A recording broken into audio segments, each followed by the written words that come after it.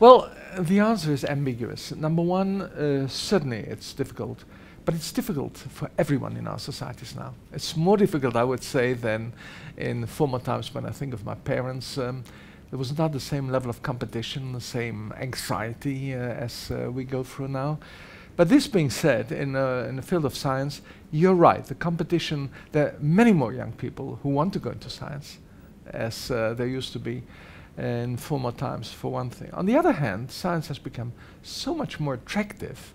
And as I have kept on saying uh, those days, there's so many more possibilities of approaching uh, the solution of the problems which you ask. Uh, if you ask a question, how do you get along it?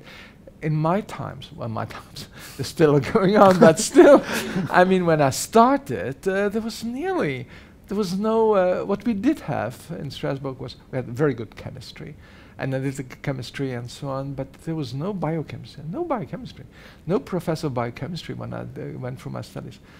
There was no molecular biology, of course.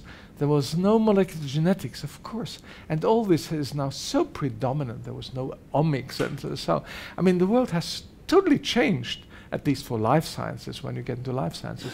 So I think th my, that's why my answer is a little bit ambiguous, because on the one hand, there's so many more possibilities, so much more exciting, inspiring, as you have kept on saying for the two days now.